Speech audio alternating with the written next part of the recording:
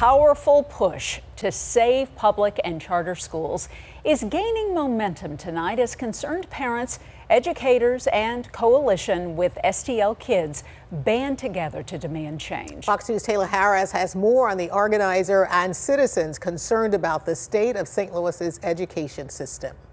At the Save Our Schools meeting, the focus was clear. Citizens believe charter and public schools in St. Louis are in a critical time. With nearly 80% of all children struggling to read at grade level, parents and educators are calling for urgent reforms. For some reason in education, you can fail and not educate kids and remain open.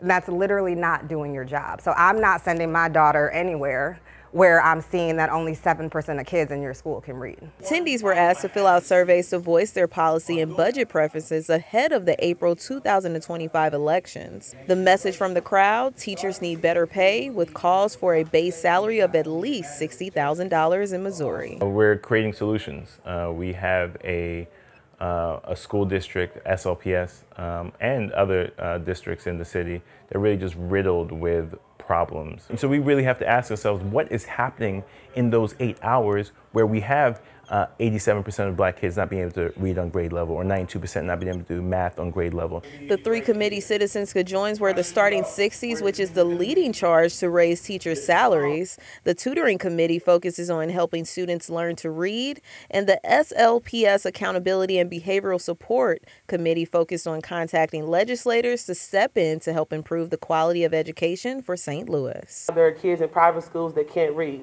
but I'm going to tell you the difference. The difference is in those schools, it's not even allowed. The moment they found out your child is suffering, they will provide every single possible resource, every single resource person. We reached out to St. Louis Public Schools for comment, and we are still waiting on a response. With the clock ticking, the founder of the Save Our Schools movement is rallying the community to take action, pushing for better support, better pay, and better futures for St. Louis children. Reporting from University City, Taylor Harris, Fox 2 News.